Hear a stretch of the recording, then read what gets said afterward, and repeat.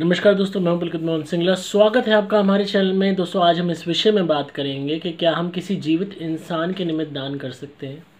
किसी का सवाल था तो आज इसी पे वीडियो बन रही है।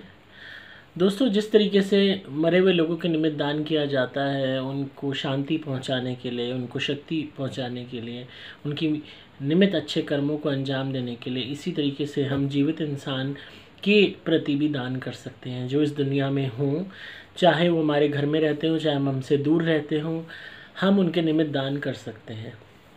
अक्सर लोग जीवित इंसानों के निमित्त पूजा पाठ भी करते हैं, दान भी करते हैं। कई केसेस ऐसे आते हैं जहाँ आपका कोई परिजन है, बीमार है, या फिर गलत कर्मों में है आपराधिक शैली के कर्मों में है, या भटका हुआ है, या यूँ कह लीजिए किसी भी तरीके से रूठा हुआ है तो अक्सर लोग बहुत इस तरीके से उनके निमित्त प्रेयर भी करते हैं, दान भी करते हैं। इन ऑर्डर के भाई कोई बीमार है तो वो क्योर हो जाए, कोई रूठा हुआ है तो मान जाए, कोई आपराधिक शैली के कामों में, बुरे कामों में तो शायद वो सुधर जाए या उसका बचाव हो जाए। अक्सर गलत हरकतों में, जैसे बहुत लोग होते हैं जिन्हें गुस्सा बहुत आता है। जो बहुत ज़्यादा आक्रामक होते हैं, क्रूर होते हैं, आपराधिक शैली में होते हैं तो लोगों को डर लगा रहता है, खासकर घर वालों को लगा रहता है कि कभी ना कभी इनके इस कर्म के कारण इनको कोई क्षति पहुँच जाएगी, इनके साथ कोई हादसा हो जाएगा, इनको इसका परिणाम झेलना पड़ेगा। तो इस चिंता को करते हुए भी अक्सर लोग दान करते हैं या प्रे करते हैं अपने परिजन के निमित्त। बहुत लोग ऐसे भी हैं जो जनरल वे में अपने घर वालों के निमित्त दान करना चाहते हैं या प्रे करना चाहते हैं। खासकर वो लोग जो घर वाले अगर नास्तिक हैं या कोई पर्टिकुलर फैमिली मेंबर है जो भगवान को नहीं मानता, दान को नहीं मानता, पूजा पाठ या कस्टम्स और रिचुअल्स को नहीं मानता तो आप उनके निमित्त भी दान कर सकते हैं। इसमें सबसे बड़ी चीज़ जो समझने की है या महत्व रखती है, वो ये है कि आप चाहे उनके निमित्त कितना ही दान कर लें, या दान करना भी बहुत सिंपल है।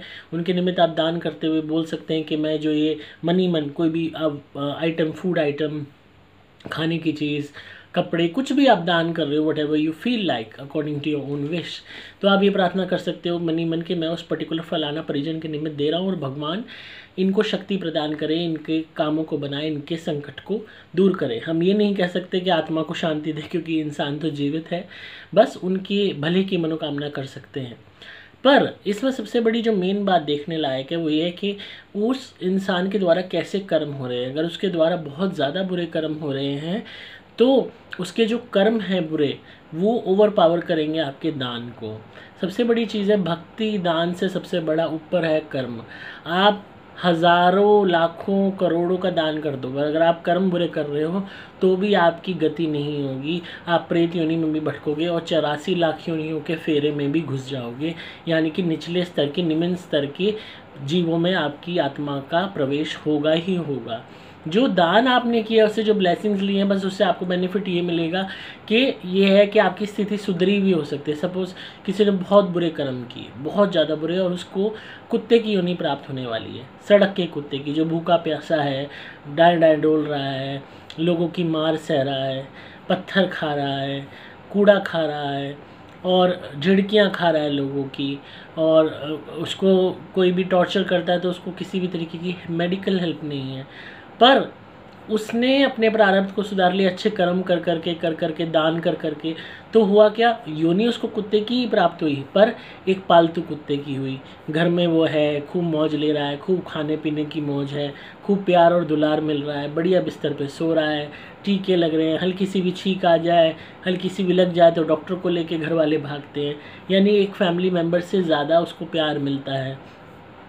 अगर उसके कर्म इतने ज़्यादा बुरे हैं it is just an example तो जो है इस चीज़ को समझने का प्रयास कीजिए कि आप जो भी बुरे कर्म कर रहे हैं अपने जीवन में, उसके प्रति जो प्रारब्ध आपका रचा जा रहा है, वो प्रारब्ध तो आप नहीं बदल सकते, पर अच्छे कर्म करके, दान करके आप अपनी स्थिति सुधार सकते हो। बहुत लोग बुरे कर्म करके ऐसे अपने लिए प्रारब्ध कर लेते हैं कि उनके लिए जो है, एक चीज़ बहुत ज़्यादा हो जाती कि उनको दुख बहुत झेलना पड़ेगा। परेशानियाँ बहुत झेलनी पड़ेंगी। पर जब वो, अगर फॉर एग्ज़ाम्पल अच्छे कर्म करते हैं, अपनी शेष ज़िंदगी में दान करते हैं तो ऐसी स्थिति आ जाएगी कि उन्हें दुख झेलने की हिम्मत मिल जाएगी। दुख में थोड़ा मरहम मिल जाएगा। दुख की अवधि कम हो जाएगी। या दुख झेलने वाली हिम्मत पैदा हो जाएगी कि आप सरवाइव कर पाते हो उस लाइफ में। तो हमेशा इस बात का ध्यान रखिए, जिसके भी निमित्त आप दान कर रहे हो, वो दान एक परसेंट तक ही लगता है, एक लिमिट तक ही उनकी मदद करता है। ये नहीं है कि कम्प्लीटली वो इफ़ेक्ट आ जाएगा जो आप सोच रहे हो। सही जो इफ़ेक्ट आता है दान का अगर वो बंदा खुद करे, अपनी सच्ची भावना से करे, मन से करे कि हाँ एक परोपकार की भावना से करे, तब बात अलग है। पर अगर उसके मन में फीलिंग ही नहीं है किसी के लिए फीलिंग ही नहीं है किसी का अच्छा करने की पर आप उसके निमित्त कर रहे हो। तो ये आपकी सोच है कि आप उसके निमित्त अच्छा चाह रहे हो, पर वो इस इंसान में इतना भी भाव नहीं है, दया का ह्यूमैनिटी का भाव नहीं है। तो कुछ हद तक ही उसको उस दान का बेनिफिट मिलेगा। उसमें भी आपकी भावना सच्ची है, इसी कारण कम्प्लीटली नहीं मिलेगा, क्योंकि उसके खुद के इंडिविजुअल के बुरे कर्म अगर वो कर रहा है तो वो भी अड़े आएँगे। और साथ ही साथ उसकी डिसबिलीफ उसकी ऐसी नाराज़गी कह लो या ना मानने की भावना कह लो, या दया धर्म की भावना उसके अंदर ना होने की बात कह लो, या उसकी क्रूरता कह लो, या उसकी कपट कह लो, जो आड़े आएगा उसको उस सत्कर्म का बेनिफिट दिलाने में। अगर इन केस कोई इंसान बीमार है, उसके प्रारब्ध में लिखा है, उस बीमारी से मृत्यु को प्राप्त करना तो दान के थ्रू बस उसका कष्ट थोड़ा कम हो सकता है, या वो थोड़े टाइम और शायद आपके साथ बंदा काट सकता है वक्त, या उस दर्द को सहने की उसमें हिम्मत आ जाएगी थोड़ी बहुत। बट कम्प्लीटली अगर उसके प्रारब्ध में है तो कम्प्लीटली वो नहीं चीज़ हट सकती। पर यह है कि थोड़ा रिलीफ आ जाता है। बस ये बात होती है। आप कम्प्लीटली फेट नहीं बदल सकते किसी का भी। तो आई होप आपको आज की वीडियो पसंद आई होगी। तो इसी तरह सुनते रहिए, प्यार देते रहिए। सब्सक्राइब कीजिए चैनल को। सॉरी दोस्तों, आज पता नहीं, इस रूम में मेरे इतनी मक्खी आ गई हैं कि वो बेचारी मुझे वीडियो बनाने ही नहीं दे रही। पता नहीं शायद क्या चाहती हैं। तो इसी तरह सुनते रहिए प्यार देते रहिए सब्सक्राइब कीजिए चैनल को ताकि आपको इसी तरीके से परलौकिक और आध्यात्मिक दुनिया का ज्ञान मिलता रहे। अगर आप किसी भी नेगेटिविटी या भूत प्रेत ब्यादा से परेशान हैं तो आप मेरी धुनी ज़रूर मंगवाइए। सुपर प्लैटिनम या सुपर स्पेशल एक्स्ट्रा घर में जलाइए, आपको बहुत अच्छे रिजल्ट्स मिलेंगे। आप मेरे द्वारा भी मदद कवच या लॉकेट भी धारण कर सकते हैं अपने बचाव के लिए। ये हमेशा आपकी रक्षा करेगा और ज़िंदगी भर आपको बचाएगा। ये कभी ख़राब नहीं होगा। आपको simply mobile number eight one three zero double three one double zero seven पे व्हाट्सएप मैसेज या कॉल करना होगा। डिस्क्रिप्शन में आपको डिटेल्स मिल जाएँगी। मैं हूँ आपका दोस्त पुलकित मोहन संगला